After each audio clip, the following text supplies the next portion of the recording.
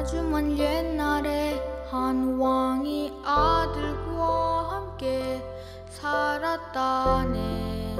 세상을 두려워하면서 늘 왕자 걱정에 잠들 수가 없었지. 성벽을 높이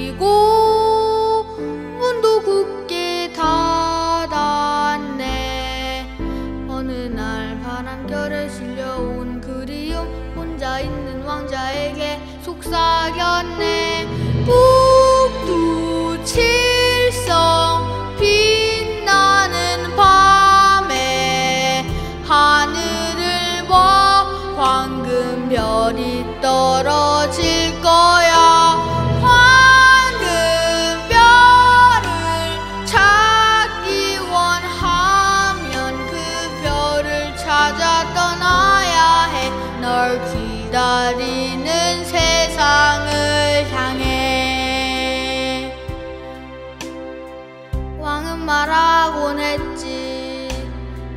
세상은 좌절로 가득 찼다.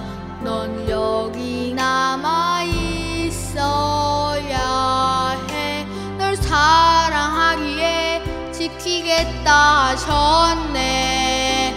성벽을 높이고 문도 굳게 닫았네. 하지만 뛰는 가슴 멈출 순 없어. 황전 성벽 넘어 세상 꿈꾸었네. 자야